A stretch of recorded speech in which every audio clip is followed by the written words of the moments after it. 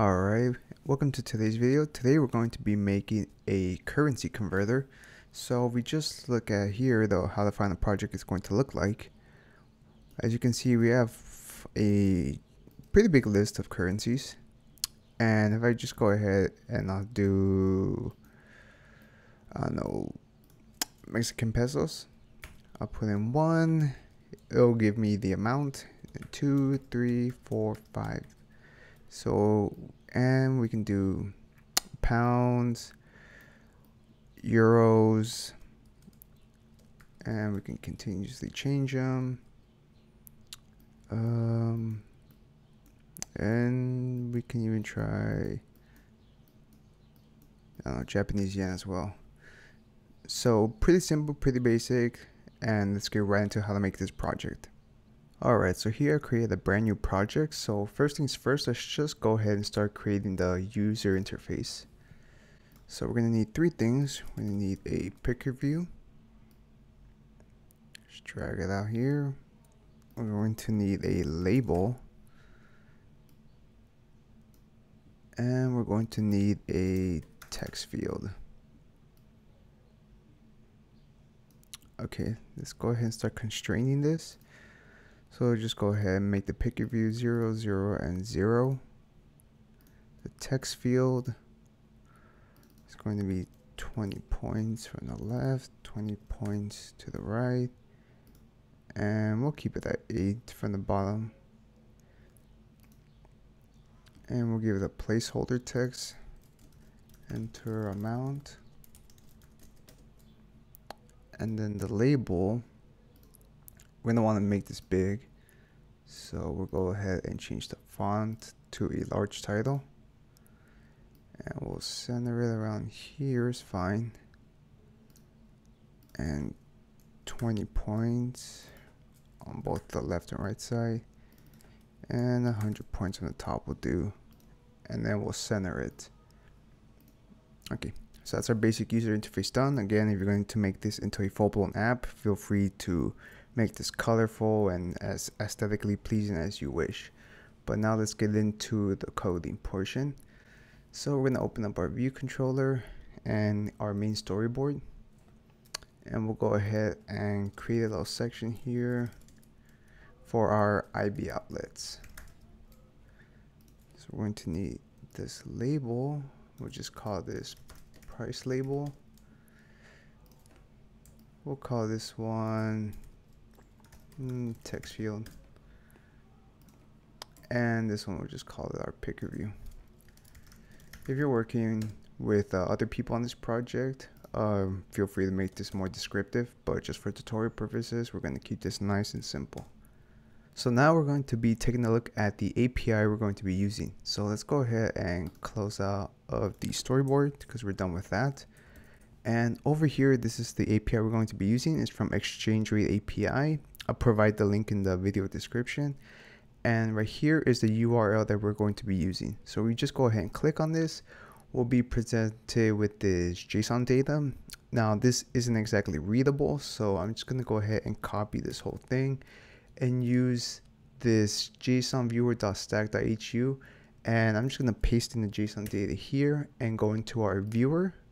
Let me go ahead and make this full screen and as you can see here we have all these um, points here. So result success terms of use yada yada, yada. we don't care about that. Um, what we want is the rates. So here are the exchange rates. So the basic provides us is US dollars. And we can see right here euros um, all these other currencies. So let's go ahead and enter back into Xcode. And we're going to make a new file it's going to be a Swift file. And we're just going to call this exchange rates. Okay, and then here we're going to want to make a struct. So struct exchange rates, make it conform to the codable protocol. And what we want is the rates. So we're going to create a constant called let rates and it's going to have a string and a double. So it's going to be a dictionary, an array of dictionaries. And that pretty much does it for our JSON file that we're going to be using to decode it. So let's move back into our view controller now. Alright, so in our view controller, we're going to create our first method and it's going to be our method to fetch the JSON data. So we're going to do func fetch JSON and then here we're going to do guard let URL equals URL. It's going to be a string and we'll paste in the URL key, the API key we have and do else and return. Afterwards, we'll create a URL session dot share dot data task, and we're gonna need the one with the completion handler. And then we'll put in our URL here, and just go ahead and hit enter, so it'll complete the closure for you. And we'll put data, response, and error. So in here, we're gonna handle a couple of different things. So handle any errors if there are any. We want to safely unwrap the data and then afterwards we want to decode the JSON data.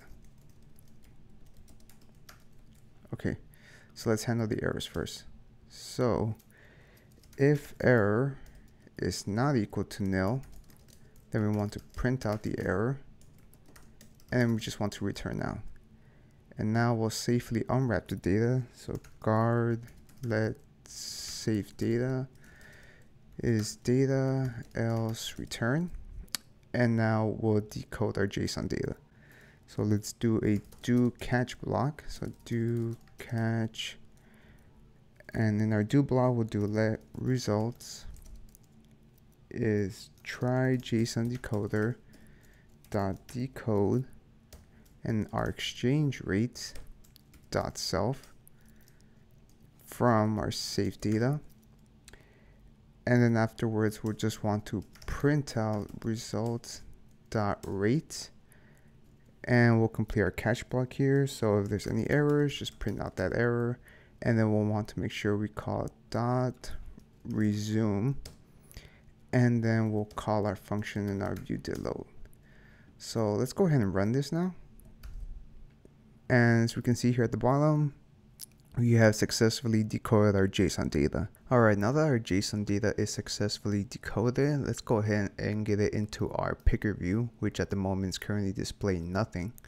So I'm just going to stop running this and we're going to make two new properties here. One of them is going to be a variable. I'm going to call it currency code and it's going to be of type an array of strings and currently it's going to hold an empty array. Another one called values, and this one's going to be an array of doubles, and initialize it with an empty array. Okay, so then we're going to have to conform to the UI picker view delegate, picker view delegate, and the UI picker view data source. And here in our view load, we want to make sure we assign ourselves as the delegate and as the data source.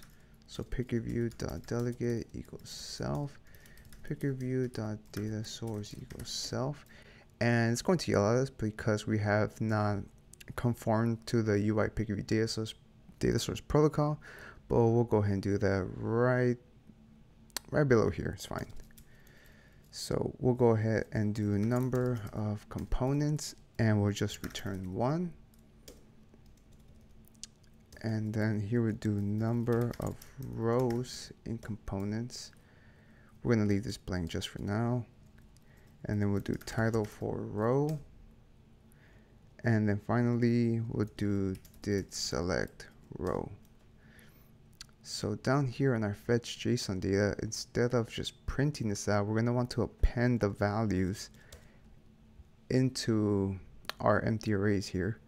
So we'll do self dot currency code dot append and we'll make sure we do contents oh it's not appearing append contents of results dot rate dot keys and then we'll do self dot values dot append contents of results dot rate dot values and now here into our PickerView data source methods, we're going to do number of rows and components. It's going, it's going to be return currency code dot count, and then title for row is going to be return currency code at row.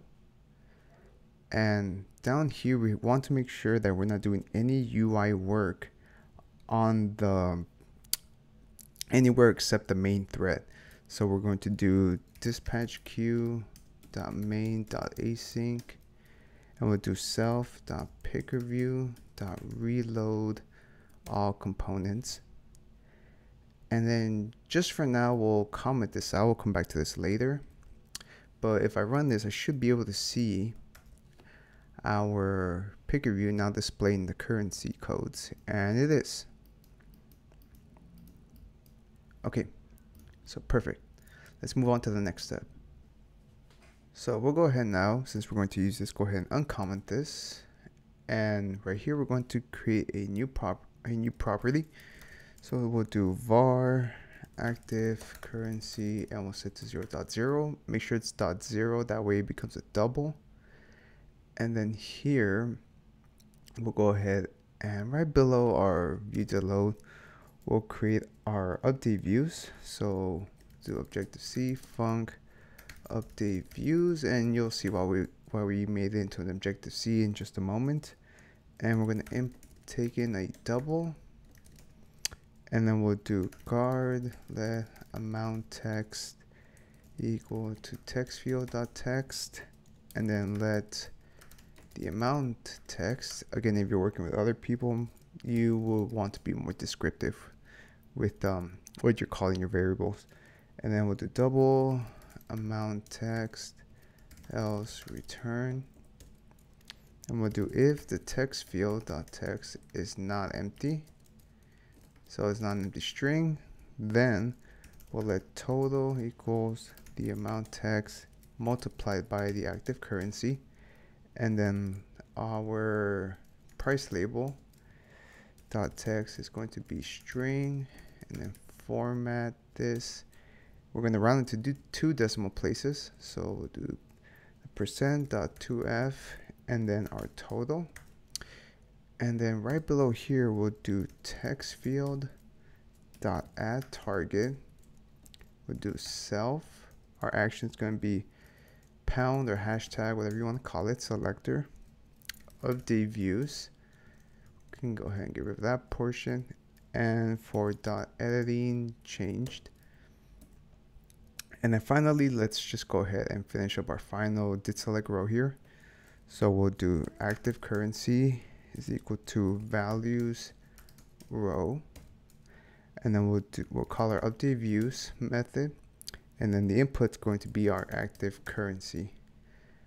And we go ahead and run this now. If we go and I don't know let's go to euros. And we type in our one. You can see that it's completely working